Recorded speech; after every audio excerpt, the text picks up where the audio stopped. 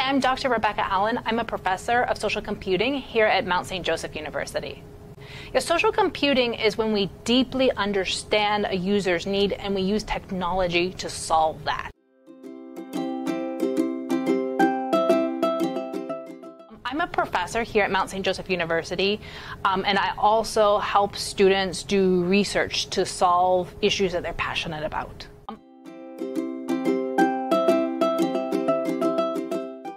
Of our students are double majors. So they major in social computing and then some other field. It could be like psychology, or it could be health, or biology, um, or even education. We have a lot of different students. But the idea is that students take whatever they're passionate about and use technology to make it better, to amplify their voice.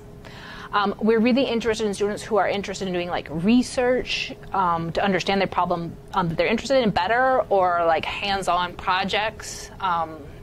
That's the kind of students we're looking for.